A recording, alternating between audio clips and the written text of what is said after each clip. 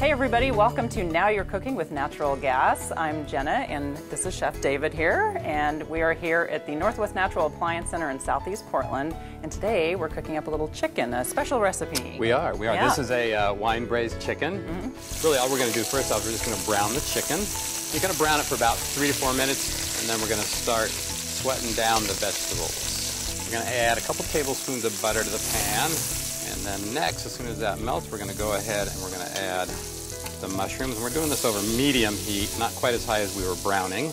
Okay, everything's sweat pretty nice down there. The uh, vegetables look pretty good. So the next thing we're going to do is we're going to add a little bit of wine, mm -hmm. uh, just to glaze a little bit. We can put the chicken back in, and let's put it face down. And we're going to cook it about halfway through, and then we're going to turn it up. That'll help give it an even cooking.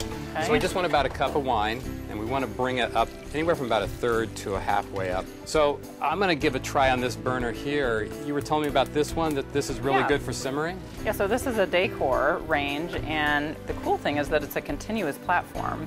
And so you can just slide, slide things over. easily. I like That's that. right.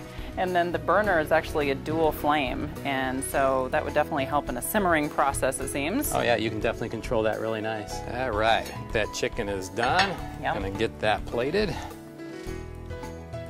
All that nice broth in there. All right.